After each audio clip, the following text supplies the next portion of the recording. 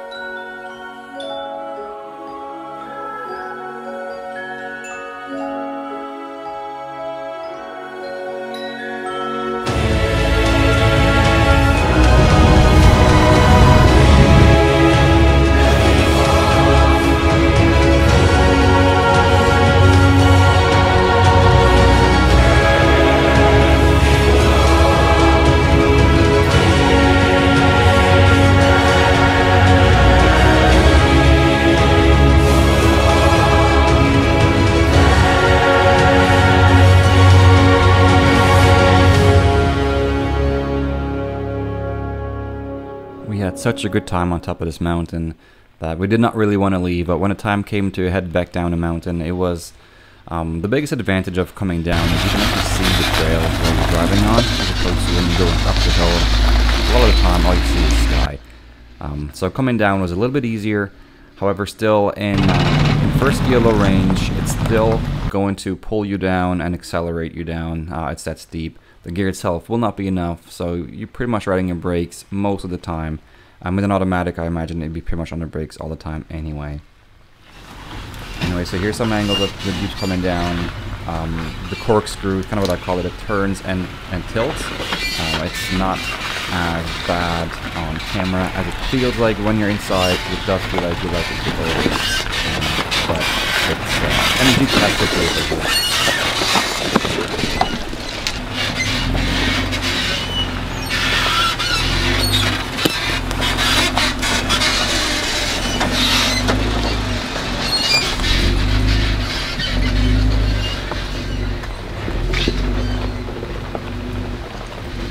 there used to be a tree there on the edge where everyone places their right, uh, the passenger side tires right now coming down. There used to be a tree there preventing you from actually using that shoulder to level out a little bit. So you had to actually drive on the, uh, the on the rock on the rocky side, which obviously leans you a lot more towards the right side. Um, so, but with this tree gone, it definitely makes things a lot easier and a lot safer.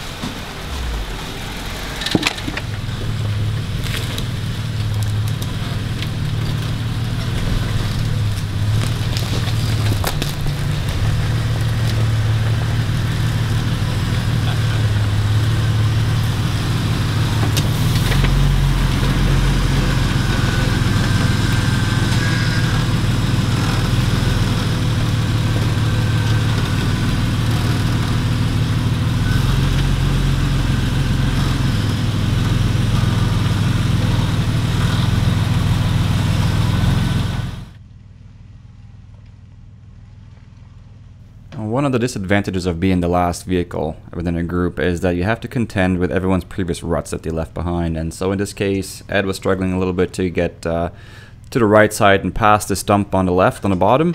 Uh, so it, the rut just kind of kept pulling him in, into uh, into that location. Um, so there was some fumbling back and forth before we got him extracted.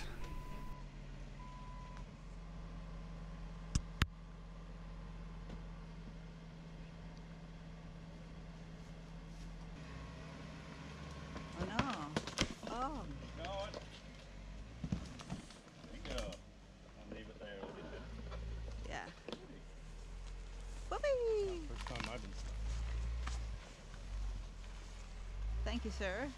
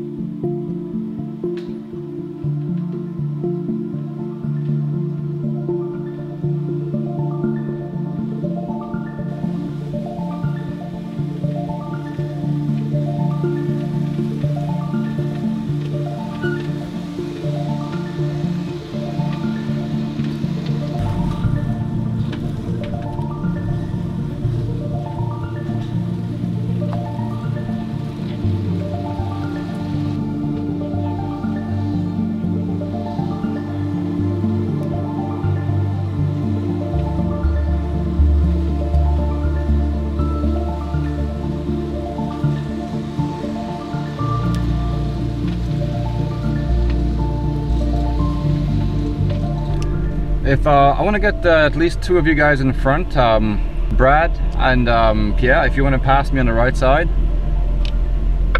Roger.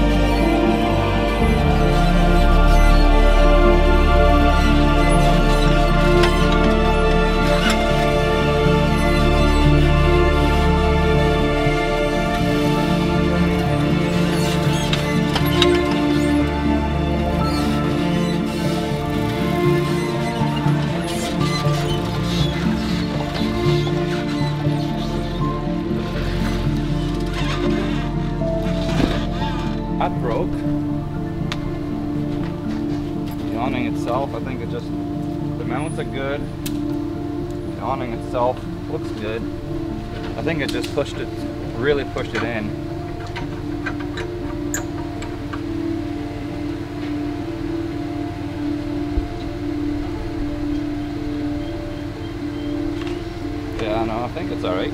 it's alright. Looks fine. Just this broke off, that's it.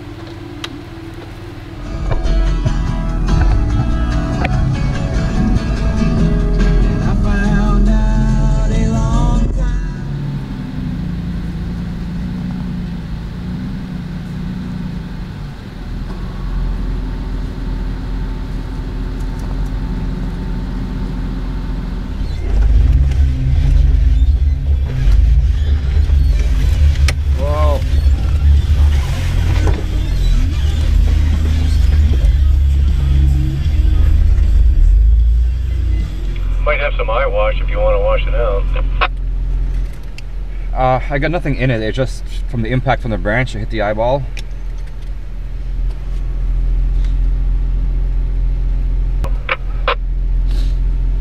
No, I think I'm just gonna let it just recover on its own. It's fine. It's just a bit of an impact on the open eye, but it'll be okay. Let me take a look at it again? Okay.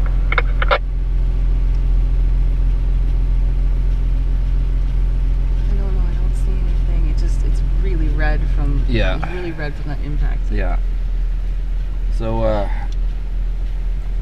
if I- you're running half doors at a tray, a tire tray like this, just even if it's not that sunny, just gotta protect your eyes. Oof, fuck, that hurts. Still tearing up.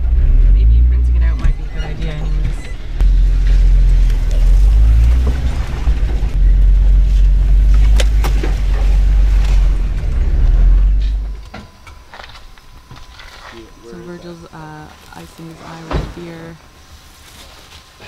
That uh, pretty aggressive uh, Damage to the slap that he got right in the eye on the trail by a branch.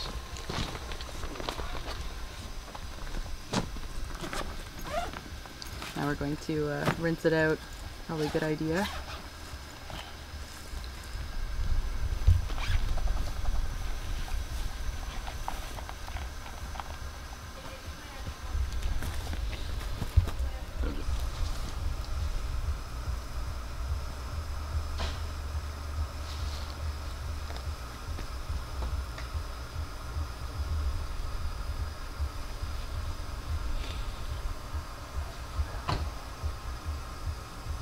Do you have a good look in it?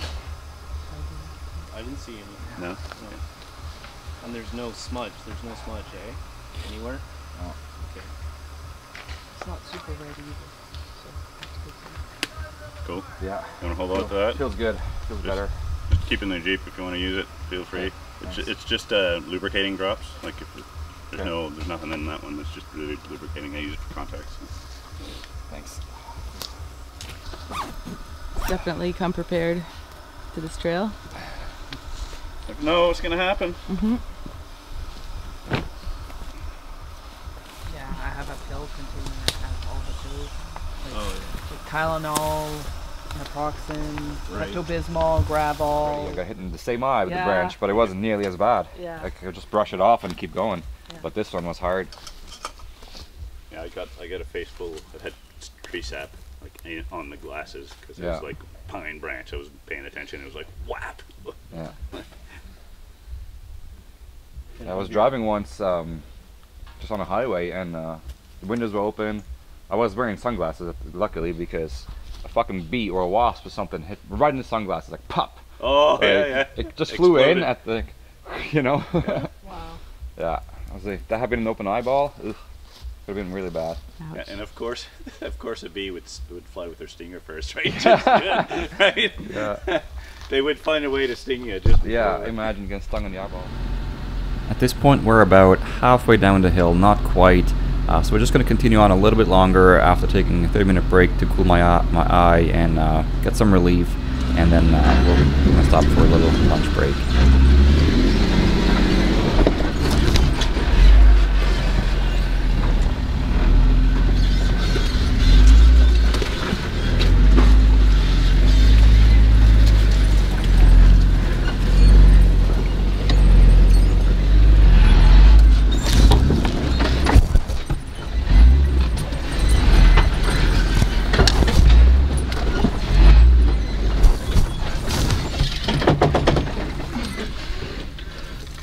You on your diff?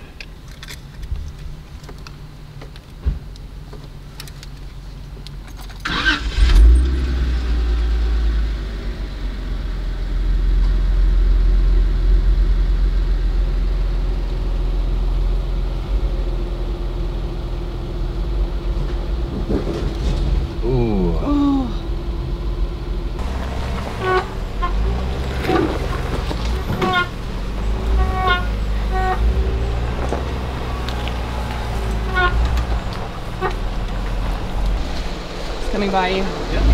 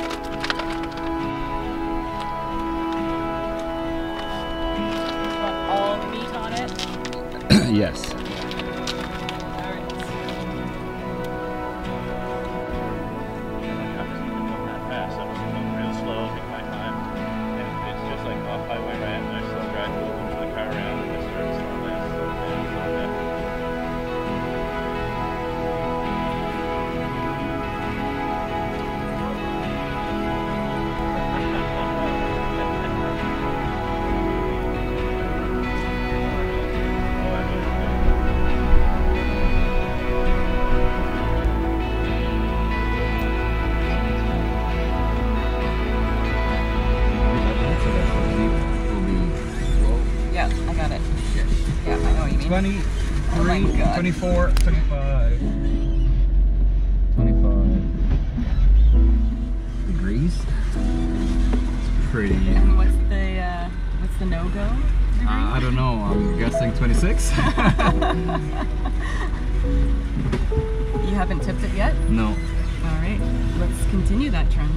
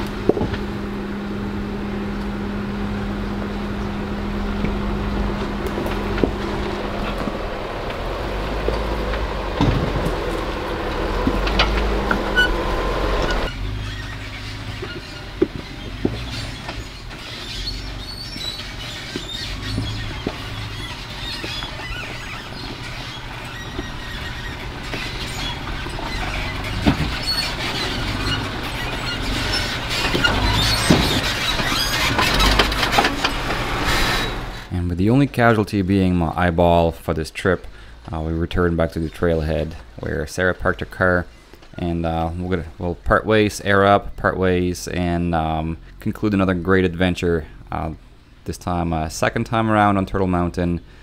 Each time with uh, survived with no uh, major damage other than a whole bunch of new scratches and a whole bunch of new amazing memories and great footage to share with you guys.